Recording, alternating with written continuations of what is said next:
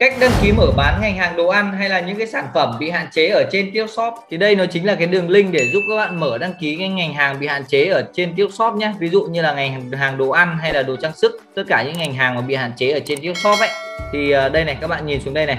Thì nó sẽ có những các cái thông tin để các bạn cần điền này.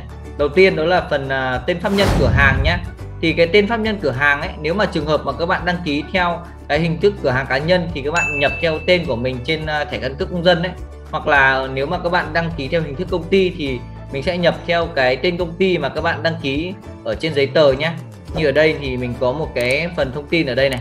Ví dụ như là uh, tên công ty ở đây nhé mình sẽ lấy công ty vào. Còn nếu mà các bạn đăng ký theo cửa hàng cá nhân thì mình nhập uh, tên của mình vào nhé tên theo uh, chứng minh thư ấy. Rồi sau khi nhập tên xong này các bạn kéo xuống đây.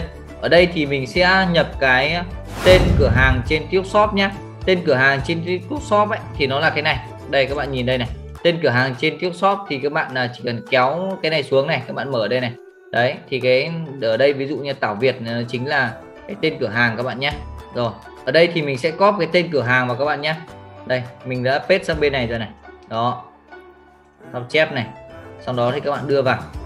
Ở đây thì mình à, viết ra cái file Excel để à, thao tác cho nó nhanh nhé. Còn ví dụ như khi mà các bạn làm ở ngoài kia thì mình cứ vào trên đấy các bạn copy paste vào là xong thôi nhá đây copy này. Đấy sau đó thì mình dán vào đây.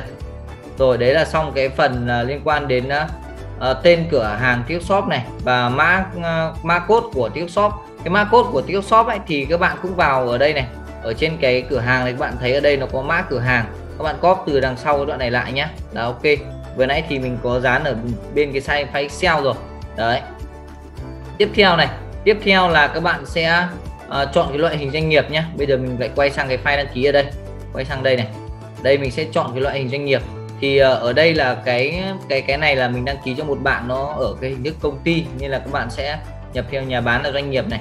Còn ở hình thức cá nhân thì các bạn chọn theo hình thức cá nhân nhé rồi tiếp theo kéo xuống này. Kéo xuống đây nó có một cái phần nó ghi là đường uh, dẫn trang web hoặc là những cái uh, trang shop ở trên các sàn thương mại điện tử khác. Đấy. Thì nếu mà các bạn mà có cái ví dụ như là trang web bán hàng thì các bạn gắn vào, hoặc là các bạn cũng có thể đưa những cái sàn thương mại điện tử bên Shopee hoặc là cái trang fanpage bán hàng các bạn các bạn cứ đưa vào đây được nhé. Miễn sao là mình có một cái đường link web là được. Đấy, kể kênh, ví dụ như các bạn mà bán hàng theo hình thức cá nhân ấy, các bạn cũng có thể là gắn cái đường link Facebook cá nhân của các bạn vào được. Miễn sao nó là một cái trang bán hàng thôi nhé. Rồi, đây này. Bây giờ mình sẽ sang đây, mình có cái đường link. Đây nó có một cái đường link web nhé. Đây. Đây thì mình đã chuẩn bị sẵn rồi rồi sau đó mình dán ở đây. Đó. Là ok nhé tiếp theo các bạn kéo xuống đây này. Ở đây thì uh, các bạn sẽ chọn cái ngành hàng đang bán. Ngành hàng thì nó có rất là nhiều này. Như cái của mình nó là ngành hàng về bên uh, đồ ăn và thực phẩm thì mình sẽ chọn vào đây. Còn ở dưới này này các bạn ví dụ như làm về sách đồ thủ cưng hay là những đồ phụ kiện trang sức quần áo nội y này đấy thì các bạn cứ kinh doanh ngành hàng gì ấy, mà nó liên quan đến mặt hàng mà đang bị hạn chế thì các bạn tích vào đây để mình đăng ký nhé rồi tiếp theo kéo xuống này kéo xuống đây thì các bạn sẽ chọn cái thương hiệu đang bán nhé. Cái thương hiệu đang bán này ấy, thì à, đây mình sẽ nhập cái thương hiệu đang bán này. Đấy thương hiệu đang bán. Thì thương hiệu đang bán này nó phải là cái thương hiệu mà đã được đăng ký các bạn nhé. Đấy nếu mà thương hiệu mà chưa được đăng ký là không được nhé. Ví dụ như là mấy bạn mà nhập kho về các bạn tự làm thương hiệu thì mình phải qua đăng ký thì mới uh, mới mới đăng ký được với Thiếu Shop nhé. Rồi tiếp theo kéo xuống này. Các bạn thấy ở đây nó có một cái phần nó ghi là giấy chứng nhận thương hiệu. Đấy, giấy chứng nhận thương hiệu thì các bạn tải về nhé. Xong rồi các bạn đưa vào. Đây, mình bấm vào đây này. Đấy, và cái giấy chứng nhận thương hiệu này nó sẽ chỉ nhận ở dạng file PDF thôi các bạn nhé đấy, chứng nhận thương hiệu này. Đây, giấy chứng nhận. Chứng nhận thương hiệu. Đây, giấy ủy quyền thương hiệu này. Đấy. ở trong này này, nó cũng ghi rõ là chứng nhận thương hiệu. Ví dụ như là cái giấy chứng nhận về quyền sở hữu thương hiệu hoặc là thư ủy quyền. Đấy, có nghĩa là cái phần chứng nhận thương hiệu này nó là cái, một cái mà các bạn được cấp phép để bán hàng ấy. Thì các bạn đưa lên đây nhé rồi tiếp theo kéo xuống này, các bạn thấy cái tên sản phẩm đang bán. Tên sản phẩm đang bán thì các bạn cũng nhập vào đây. Bây giờ mình quay sang bên này nhé ở ờ, ở đây thì mình có những cái sản phẩm này mà mình đã đã đăng ký đang bán này, thì mình sẽ cóp vào. Đấy, mình đưa vào nhé hết vào đây.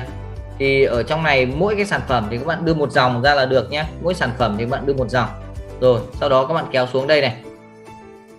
Ở cái phần này nó chính là cái phần mà chứng nhận uh, sản phẩm gồm có ví dụ như là bằng cấp này giấy cấp phép phân phối này chứng nhận sản phẩm này. Đấy nếu mà có thì các bạn đưa vào. Ở đây ví dụ trường hợp mà các bạn không có thì các bạn cũng có thể là tải cái file PDF trắng lên cũng được không sao nhé cái này nó không bắt buộc. Đấy mình tải đây này ví dụ như ở đây mình có một cái uh, chứng nhận này giấy chứng nhận thương hiệu này ISO này mình đưa vào đây. Đấy rồi tiếp theo kéo dưới này. Ở đây nó hỏi mình là à, bạn à, đang bán ở trên cái thằng nào này? Đấy ví dụ như là các bạn à, đang bán ở trên Shopee Lazada hay là cái khác thì bạn bấm vào đây. Nhưng thông thường thì à, mình hay đang bán ở trên à, cái trong web hoặc ở Facebook ấy thì mình sẽ tích vào other nhé đấy còn ví dụ như các bạn mà kinh doanh trên, trên mấy cái sàn này thì các bạn kích vào đây nhé rồi tiếp theo kéo xuống này. Ở cái mục 12 này ấy, nó là cái phần uh, Ờ, các cái tài liệu bổ sung nếu có. Nếu mà không có thì các bạn cũng để trắng được không sao nhé. Tạm thời như cái này thì mình để trắng luôn này vì là nó không uh, không tích cái dấu sao vào đây là không bắt buộc nha rồi à, tiếp theo các bạn kéo dưới ở đây nó có phần là à, thông tin người bán hàng ấy. Đấy ở đây thì các bạn à, tích vào nhé. Ví dụ như là nó hỏi là à, cách mà nhà bán hàng biết đến đường dẫn này. Đấy thì mình tích vào đây là thông qua nhân sự của à, TikTok nhá đấy. Tiếp theo các bạn kéo xuống đây này nó hỏi là quy mô kinh doanh online ờ, của uh, nhà bán hàng theo ngày là bao nhiêu? Thì uh, cái cửa hàng này nó là uh, trên 20 triệu một ngày. Đấy từ 20 triệu trở lên thì bạn tích vào đây. Còn cửa hàng của các bạn là bao nhiêu thì các bạn cứ nhập vào nhé. Các bạn tích chọn vào đấy là ok thôi.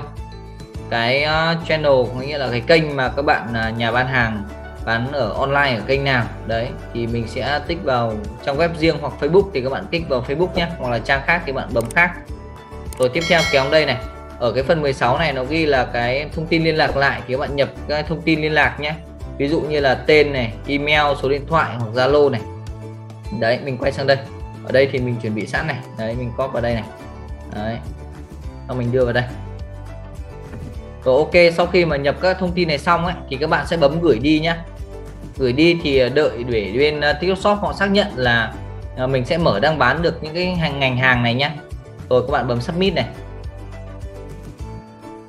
Rồi nó báo submitted này là ok các bạn nhé Cảm ơn các bạn đã xem video. Nếu thấy video này hay thì đừng quên bấm đăng ký kênh và chia sẻ cho bạn bè để chúng ta cùng học nhé Chào các bạn và hẹn gặp các bạn ở video tiếp theo.